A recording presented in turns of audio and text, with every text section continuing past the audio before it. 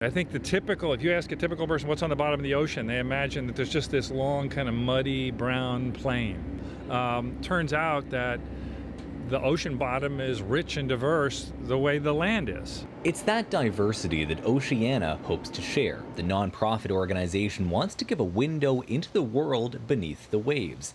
It's live streaming from a remotely operated vehicle sent down to areas off Canada's coastline that have never been shot before. Nobody's ever done this before with this kind of technology. We rarely see what the Gulf of St. Lawrence looks like from the seafloor, so this was a unique opportunity. This week, the team is exploring two parts of the Gulf of St. Lawrence using cameras, sensors, and robotic arms. My grandfather would be like a kid in a candy store with technology like this. Alexandra Cousteau is the granddaughter of famed ocean explorer Jacques Cousteau. Cousteau says the expedition has already collected one of a kind video like of a porbeagle shark.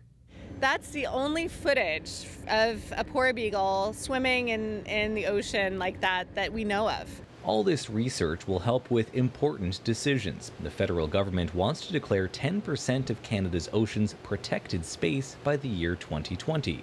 Using data collected here can help identify the 10% that needs the most protection.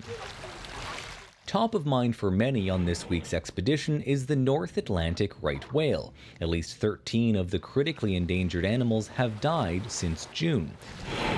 Researchers on the ship last week had 18 sightings of live right whales.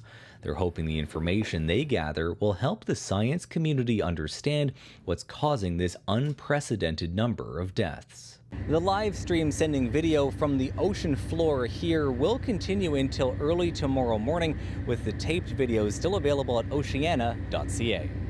Brett Ruskin, CBC News, just off the coast of Cape Breton Island.